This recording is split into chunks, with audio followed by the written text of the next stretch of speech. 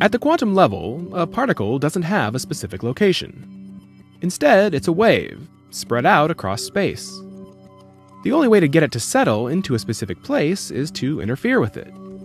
But that makes the wave's wavelength difficult to define, which makes its momentum uncertain.